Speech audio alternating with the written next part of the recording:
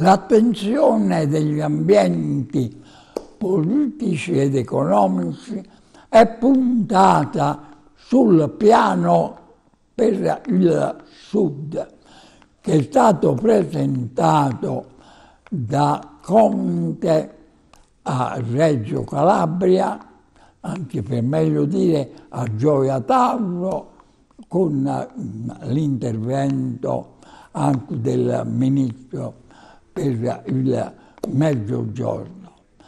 Bene, l'attenzione è puntata su questo piano perché per la verità ogni governo ha sempre tirato fuori un piano per il Sud, ma moltissime sono state le delusioni e possiamo dire che il Sud ha ricevuto come dire, la spinta iniziale con la cassa del mezzogiorno, con i piani tupini, con la intuizione di De Gasperi.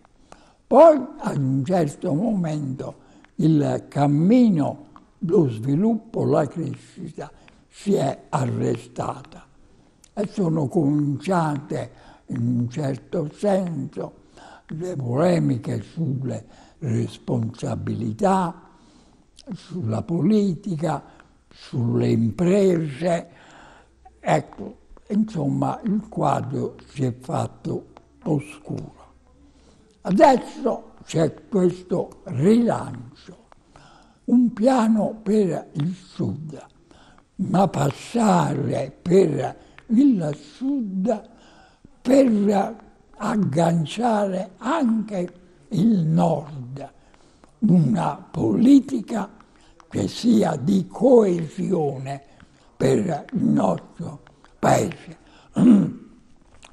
Perché come si ricorderà un, dire, un scrittore del Risorgimento disse l'Italia sarà quello che il Sud sarà.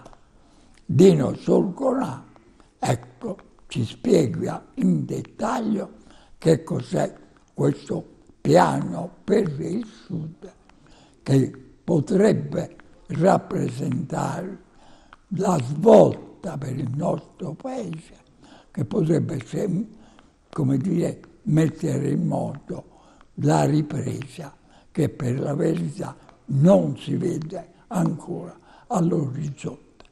La sintesi del nuovo piano per il Sud è in questa frase del Presidente del Consiglio Conte. Mai più rassegnazione, mai più disagio. Non vogliamo più narrazioni tossiche per il Sud, il Sud deve diventare sinonimo di eccellenza.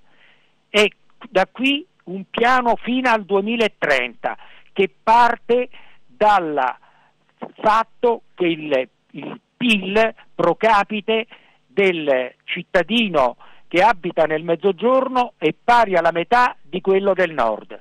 E il piano quindi prevede investimenti, infrastrutture e nuove opportunità per i giovani.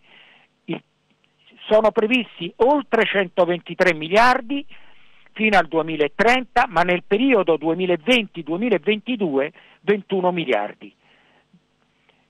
Le misure prevedono innanzitutto verso i giovani, si punta ad investire su tutta la filiera dell'istruzione, a partire dalla lotta alla povertà, alla povertà educativa minorile, per rafforzare il capitale umano, ridurre le disuguaglianze e riattivare la mobilità sociale. Il piano infatti prevede e mira a scuole aperte tutto il giorno. Poi un'estensione della Notax Area senza penalizzare le università e attrazione dei ricercatori al sud. Poi c'è una parte relativa al cosiddetto Green New Deal, al sud un grande abbraccio fra economia ed ecologia per realizzare alcuni obiettivi specifici dell'azienda ONU 2030 contro i cambiamenti climatici. Ma fondamentale sono le infrastrutture sociali e in particolare investimenti anche su treni e alta velocità. Si cerca di portare il percorso Roma-Reggio Calabria come quel, nello stesso tempo che passa Roma-Torino, cioè entrambi sono distanti di 700 km e Conte dice dovrà, il percorso dovrà essere fatto in quattro ore. Ma vediamo se tutto ciò non dovesse accadere. Se tutto ciò non dovesse accadere continuerebbe la fuga della popolazione del, del sud, soprattutto fra coloro i quali hanno 25-35 anni, cioè la maggior parte dei laureati, per cui fra 20 anni sarà, la popolazione meridionale sarà meno di due terzi rispetto al settentrionale.